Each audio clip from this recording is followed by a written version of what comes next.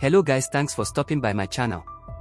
Kule video sizobe sibheka ukuthi yini ongayilindela kusukela mhla ziyishumi nesikhombisa kuya kwezingamashumi amabili nanye kuJuni ochungechungeni lwedrama oyikhonzile enesihloko esithi Gebeha The Empire.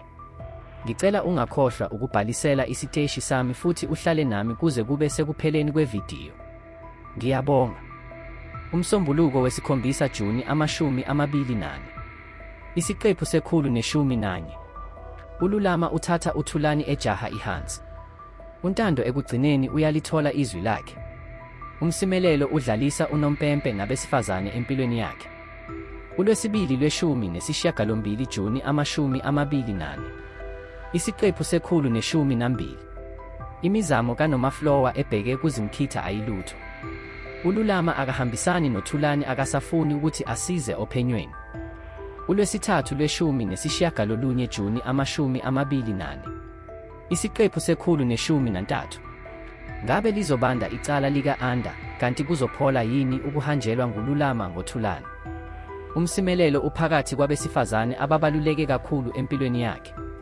Ulwesine wamashumi amabili kunhlangulana amashumi amabili nane. Isiqephu sekhulu neshumi nane. Uzimkhitha ubonakala esebenzise wonke ama-chips akhe ezingxoxo, kodwa untando akawathengi.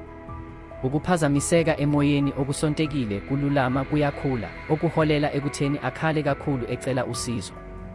Ulwesihlanu lwamashumi amabili nanye Juni amashumi amabili nane. Isiqephu sekhulu neshumi nanhlanu. Ubudlelwane bukaNtando noMaflowa bubhekene nesikhubekiso.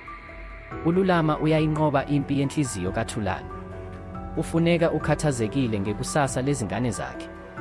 Ngaphambi kokuthi uhambe, sicela uthande, wabelane, ubeke amazwana futhi ubhalise. Ngiyabonga.